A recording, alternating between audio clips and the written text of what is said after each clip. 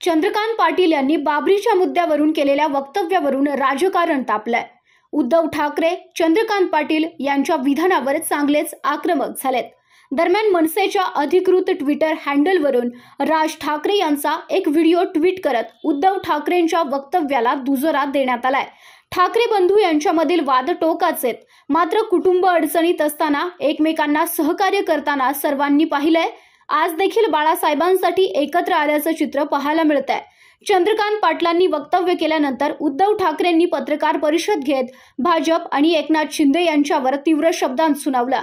तर बाळासाहेबांचा अपमान करणाऱ्यांसोबत सत्तेत राहायचं असेल तर यापुढे शिवसेना हे नाव वापरू नका आणि बाळासाहेबांचा फोटोही वापरू नका असं म्हणत एकनाथ शिंदे यांच्यावर ठाकरेंनी हल्लाबोल केला. मनसेनं ट्विट केलेल्या व्हिडिओमध्ये बाबरी पाडली त्या दिवशीची एक घटना सांगितली आहे त्यामुळं उद्धव ठाकरे आणि राज ठाकरे बाळासाहेब यांच्या मुद्द्यावर कधीही एकत्र येऊ शकतात हे पाहायला मिळालं. दरम्यान चंद्रकांत पाटील नेमकं काय म्हणाले होते? तर बाबरी मस्जिद पाडण्याचा प्लॅन सेना भवनामध्ये झाला हे म्हणणं चुकीचं आहे.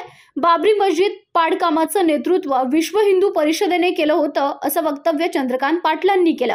बाबरी मस्जिद पाडण्यात एकाही शिवसैनिकांचा सहभाग नव्हता तर चंद्रकांत पाटील यांनी आपण त्यावेळी व्यवस्थापन संदर्भातील कामासाठी अयोध्येमध्ये उपस्थित होतो असंही सांगितलं होतं. आता बाबरी मस्जिद प्रकरणासंदर्भात चंद्रकांत पाटलांनी वक्तव्य केलं. शिवसेना प्रमुख बाळासाहेब ठाकरेंनी त्यावेळी जबाबदारी स्वीकारली पण तिथे अयोध्येमध्ये शिवसेना गेली होती का? बाळासाहेब गेले होते का? असे प्रश्न उपस्थित केले. आणि याच मुद्द्यावरून ठाकरे मात्र संतप्त झाले. आणि दरम्यान मनसेच्या अधिकृत ट्विटर हँडलवरून राज ठाकरेंनी उद्धव ठाकरेंच्या वक्तव्याला दुजोरा दिलाय.